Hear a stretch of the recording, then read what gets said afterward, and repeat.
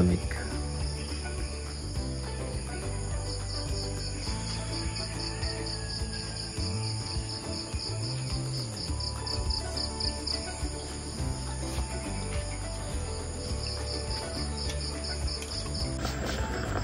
Coffee's up.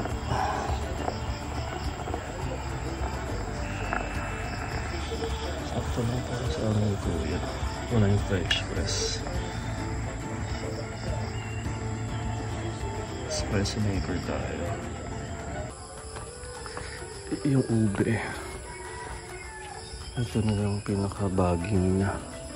Ayun ang taas. Hindi mga ganito. Ganda dun sa net. Ayun. Pero nasa paso lang siya. So, iayos pa. G na G siya na tumupo. Kalamansiin natin ang isa na lang natira. Ang variegated. Mas mayabong yung bunga nung hindi variegated. Parang may lemon sa baba kung may bumubunga na. Yung doon namatay. We'll do some exercise. Is go biking. Good morning. We're here na sa pababa. So better na maglakad kasi bubulos ako.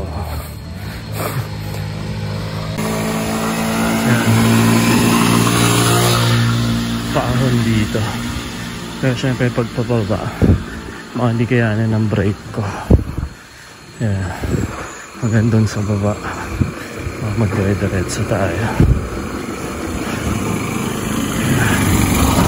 Better na maglakad. Dito nga lang parang nag-slide na ako.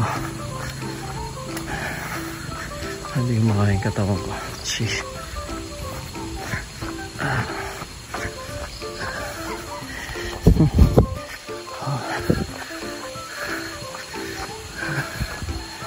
Yung sound ng stream na. Dito sa baba. Silipin na natin. Hindi na. Hmm. Parang Panginoon Falls. Morning po, tabi-tabi. May kiraan po.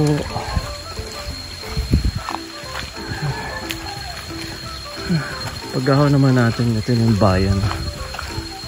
Bumili lang tayo. Pang lunch. Kapoy.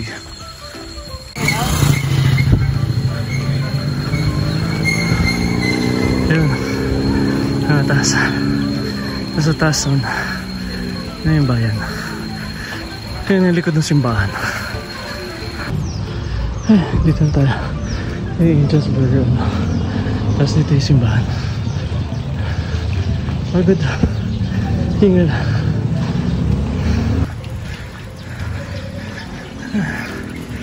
It's a church. Morning po, St. Joseph. Eh, nakasabay pa natin mga load bikers.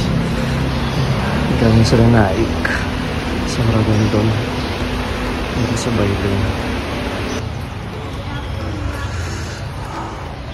Lumaya ng church na to. Ayun isa sa pinakamatanda dito. Itong Acacia tree na to. Yun ang gano'ng kalaki. And imagine how old it is. Diba? Ganda. Beautiful. So yun yung old municipal hall ng General Emilio Aguinaldo Cavite. Yung Korean tree nila, mataas na to dati, pinuto nila para mababa lang yung mga ay dahon like, like that to. Ganda din naman tignan. Parang binonsai. Hmm, kabili na ako ng Mang Tomas kasi yung liempo na nabili ko kahapon. Biggest spot. So dito naka Alpha Mart nakabili. So i-diretsong pakso na lang natin. Ayun na, Mga 10 pesos siguro. Ayaw, wag na.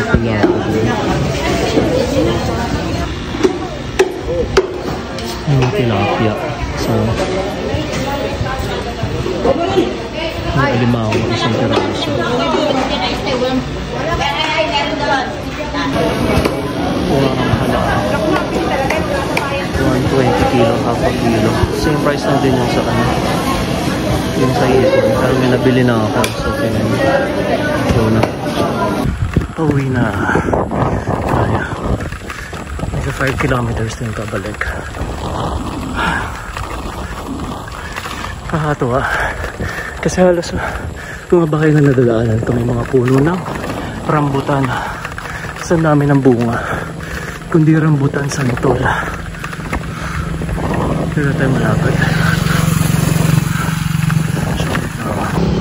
Last mm, stop natin. Yung luya. Kaya sa patis ka luya. Kasi tindahan nila nanay dito. Papasok na tayo. There, sa Serka sa bayan. Pagod. Nasa 8.32 kilometers na tayo. More than an hour. Parang average lang din to pag kayo nagbabike ako sa Bulacan. Kaso uphill kasi ito kaya nasa nakakapagod. Dito na tayo sa pagba. Sa ba? Sa street. Pagod na ako. Dito na. Naris na pabike ng pababat. Pagod na ako. So, hirap gamitin yung bike na to kaysa dun sa ano. Yung mountain bike sa baba. Tabi-tabi po. Ah. Ciao, ciao. Ito, puro santol. Kanina nadaanan ko. Rambutan naman. Ayan, puno ng rambutan. Pero puro green po kasi. Mga bunga na. Ayan po. Puro green. Kapasunod. Yung avocado lang talaga. Kakainayang. Di ba na natin natikman? Ito na. Puno. Ito yung version nila ng palitaw daw. Okay naman. Parang deep fried siya tapos lumulutang kaya siguro palitaw tawag. Sarap din naman yung kinatanin. Leftover na. Liyan po kagabi. Gawin natin lechong paksiw. Meron tayo ng tomas. Garlic. Wala tayo ano, onions. Tapos tingnan tayo ng vinegar. Garlic. And then, ito na natin itong yan po. Igat tayo ng bulaklak ng saging. Tsaka sa ating add na lang ang ating sauce.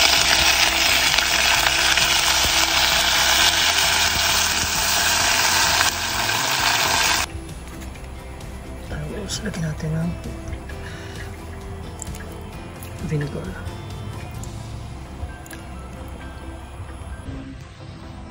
Balatan ng lubya para dun sa shrimp. Tsaka yung halaan. Mas madali magbalat using spoon. Hindi ko lang hawakan kasi hawakin ko na isa. Gawin ko muna. Tapos na. Yung mga sulok-sulok na lang. Ah, chop na natin. Pwede na tayo magluto ng halaan tsaka yung shrimp. Yung ating luya. May oil na yan. So, lagyan na lang natin.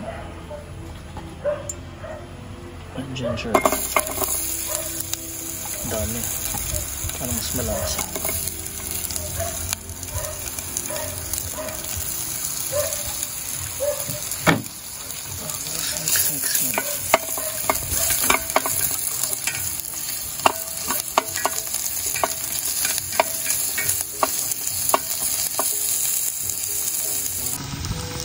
Tayong patis.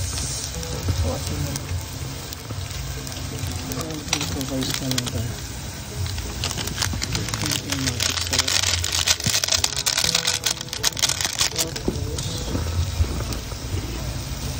Tsaka malunggay na lang ko eh. Nalagyan din natin itong talbos mamaya. Ready na naman ito.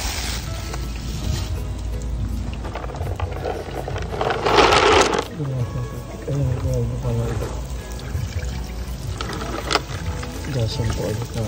Para walang buhangin. Ready na natin siya.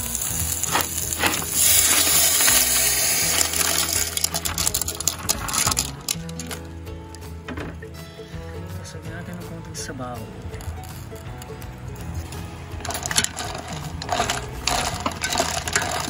Tapos mamaya, i-drop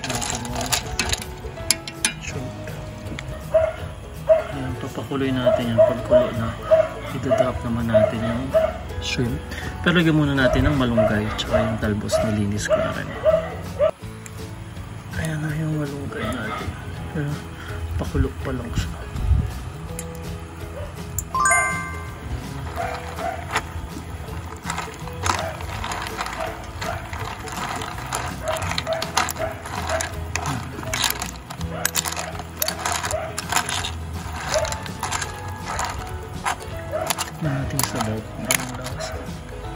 Kasi yung shell mismo may lasa yun. Sarap.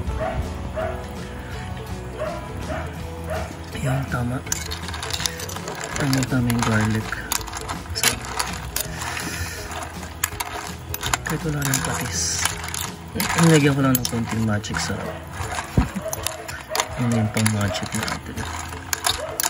Buti na lang madami yung luya. Kaya malasa. Tapos maya maya pwede na natin ilagay yung shrimp. Yummy. Ayan, dinagdagan ko ng konting sabaw. Tapos nilagay ko na yung talbos. And then, itatap na natin yung shrimp. Tsaka natin takpan para kumulog. Ayan na yung shrimp. First time natin trinay yung halaan tapos may shrimp. For sure magkaibang lasa pero pareho naman siyang seafood so I'm sure masarap yan. Cover na natin tapos mo siyang.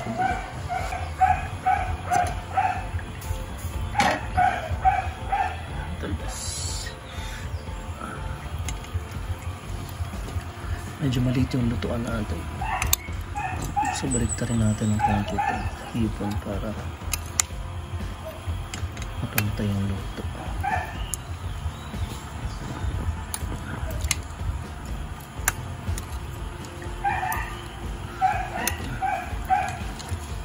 Ano yung lasa ng sabaw. Pero mamaya na pagkulo. Muna natin ulit. Lunchtime, lechon paksiw with our seafood soup. Yummy. Ciao, ciao. Lagyan na ng kadena tong kasi humahapa itong ano poste ng gate so para may support siya. Tap, kasi lumundok na siya. Yun. wala kasing simento sa ilalim. Unlike nitong isa. Tapos may poste pa. Kaya ayun. Not unless sa susunod. Pag okay lang kasi yung gate natin ganito eh. Iayos na lang yung framing. Hindi lang maayos yung pagka-frame ito ang kabila.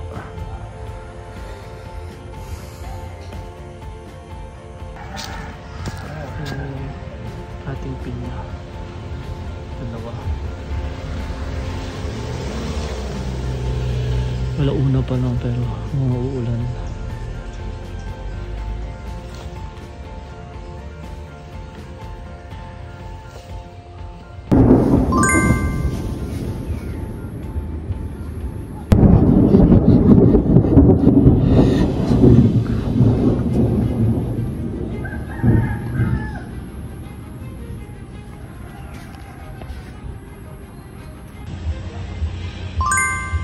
Bye LP, see you. Keep us safe pag uwi.